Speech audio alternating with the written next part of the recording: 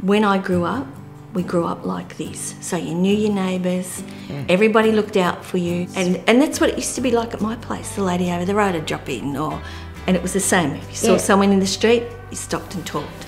So I'm really, really comfortable living here. I think it's a really great community, and Yeah. there's something on all the time. Like my sister will ring me and go, "What's on your social calendar today?" you know, "Can I see you today?" Oh, I'm sorry, no, no.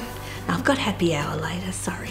I think the first night here, I slept better than I'd slept in ages because I knew the gate was locked.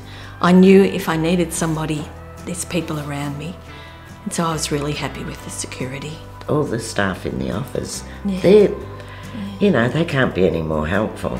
I haven't got a printer set up at home. I went over and used theirs the other day. You don't feel bad going in and asking. It was brand new. That was going for me. So no, I, I, I don't regret it one bit. You know, you don't want to live out your life lonely. That's not going to happen here. No. What's really funny, we know each other's appointments. So you've got the, you're going to see the dentist this afternoon, and then they'll go, now when do you have to see the vet? and it's just, it's good though, because, you know, if anything goes wrong, they know. Yeah, yeah. And it's not, it sounds like we live on top of each other, but we don't. No, no, no, no. You know, you can shut your door and You don't have to answer.